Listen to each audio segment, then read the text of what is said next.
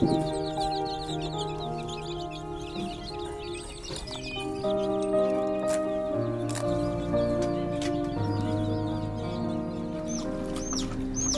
আর লবণ দিয়ে পরিষ্কার করা লাগবে।